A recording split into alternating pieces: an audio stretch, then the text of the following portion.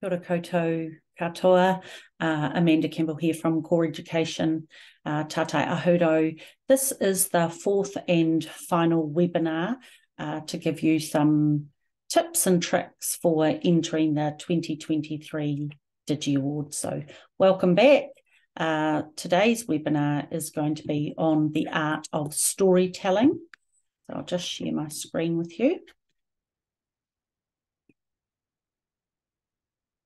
So, the really important thing to know if you've watched the previous webinars is around the deliberate acts of teaching your tamariki and using digital tools in order to, tell to tell stories. Uh, the important thing with today's webinar is around the importance of teaching children how to tell stories well and the process around doing that.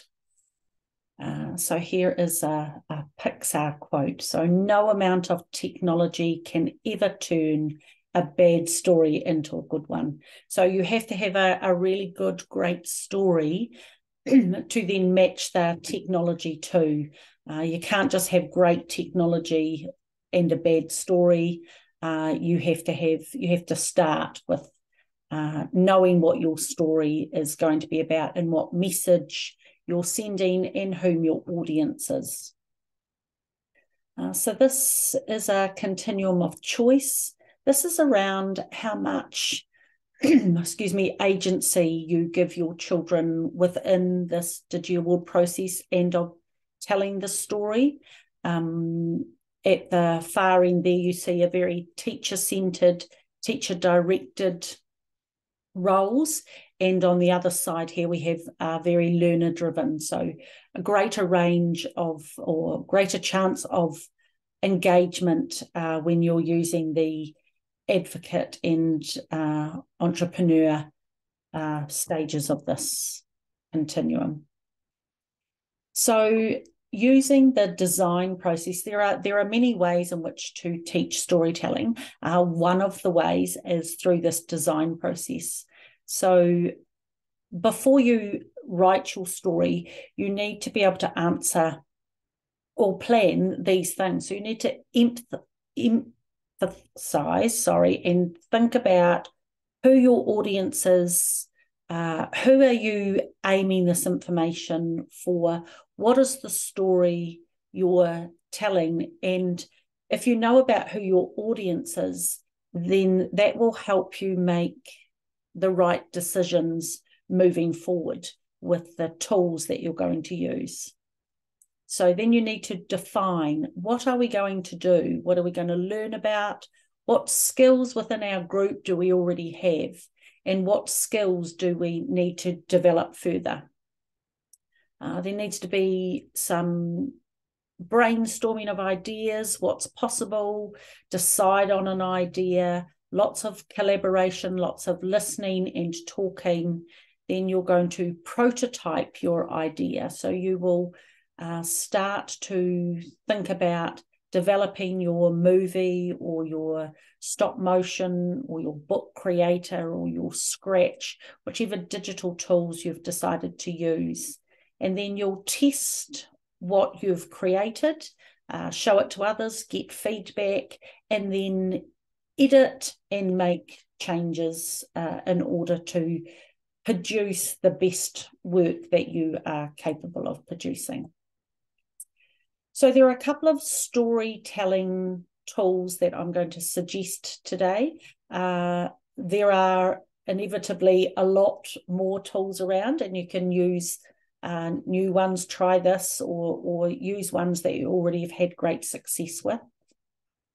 So there's this storytelling uh, one here where uh, you can have lots of fun during your literacy time. You can have uh, children in groups of seven and give them this starting sentence that they just have a lot of fun with and they just add, each person adds on.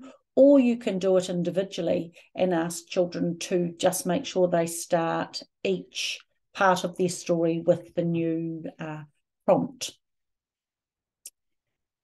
this is a fantastic uh, video that I, I really recommend uh, watching. This is from Can, uh, Khan Academy. This is being put together by Pixar uh, that talks about uh, the storytelling techniques that they use in order to put the Monsters Inc. videos together. are very engaging for children. Um, as a kaiako, if I just um, flick to this and show you, um, the wonderful thing about this website is that um, you can, it's called Pixar in a Box, an introduction to storytelling. There are different facets of the storytelling that you can click on down the, the, the side here, and then there are activities to go with it. So it can become a, a big part of your uh, writing program, which uh, can then integrate into your um, Digi Award entry so that it's not an additional extra. Um, Korero Paki, how do we tell stories? What is the importance of telling stories? So, stories have been around for generations, um, and you know they're so important for uh, remembering history and and telling things uh, from different view viewpoints and doing so in a creative in a creative way. So, how do we tell stories?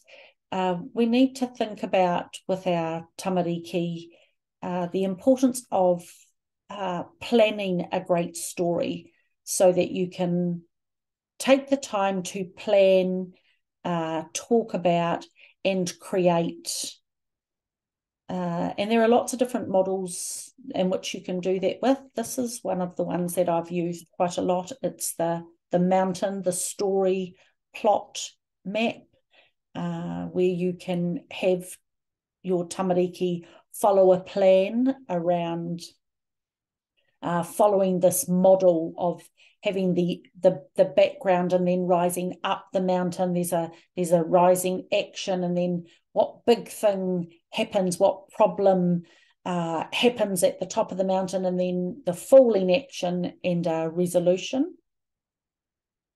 Uh, here are some examples of uh, the planning. Really important to ensure that your story has been well planned. This will stop your tamariki just ad libbing within their Digi Award videos. It's very planned, very organized, uh, very practiced uh, before they put their voiceovers or what have you to the wonderful uh, digital part of this competition. Uh, the storytelling process, uh, here is another another great teaching tool. You can teach it in these three parts. Um, have the children brainstorm their ideas and their concepts, get them to write a script, uh, draft it out on a storyboard. And you'll see how to do this if you go back and watch the Pixar uh, videos. Uh, they show you how they draft their story out, sometimes even just with pictures, uh, some with words, and you draft that out on your storyboard, and then you think about how you're going to capture that content with what images, what video, are you going to include music? Uh, you can record your script as a voiceover, uh, or you can type it if you're using Book Creator just to match images. Then you in part three, you'll need to edit your media, polish your video, um, add in your effects, and of course, then publish.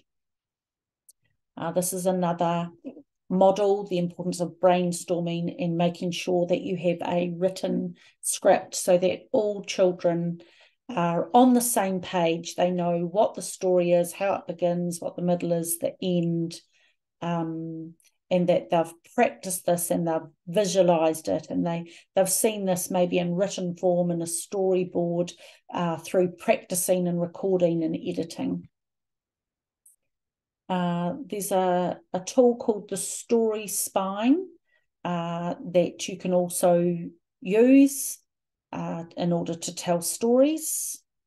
Can uh, follow these type of lesson plans here. You look at Act One, so you're going to look at that first part of the of the stages, the nine stages in the story spine. Talking about once upon a time or every day until one day, and uh, part A and part B there, as you see, has some uh, things that you as a kaiako could teach as part of your literacy program. Then what to do in Act Two, the because of that, and then because of that, and then because of that, uh, so that you're creating uh, a good content to your story and building on onto it. Uh, this is another visual of um, some children like to see this this visual that you know the story like a, a staircase steps up and steps up and it's because of this that this happened and it's because of that that this happened. And then uh, the low point the the the problem the challenge um, and and on here you can see um, three to four sentences for each section is is all that's required Act three, uh, the the final, so that you're getting to the moral of the story. Um, so here's where you're talking about the crisis and how it was, resolved. Uh, and in the end, what was the outcome of telling the story? What was the moral of the story? Uh, this is like what's on the Pixar videos, if you watch through those, how they put together visuals on a big board uh, of different components of the story that they're telling and physically move them around and make sure that the story makes sense so that when you put your story together with your digital tools that everything matches up and aligns. Uh, we're going to put on the Grow Waitaha website a copy of these uh, the slideshow, uh, and you'll be able to click on these links that share with you um, the Pixar story that I told you about, some templates that you can use, uh, and how to do storyboarding. So that completes this webinar. I'd like to thank you very much for your interest in participating in Digi Awards 2023. Uh, again, I'm available to help you out if you uh, would like help with anything regarding uh, Digi Awards. Most importantly, uh, have fun, enjoy, experiment with your children, uh, deliberately teach the skills that are required to put together a great entry. Uh, try, I know how busy kaiako are, so try not to have this as an added extra. See where you can integrate this into uh, the other things that uh, you're doing in your classroom. Uh, thanks very much for watching. Uh, ka kite anō take care.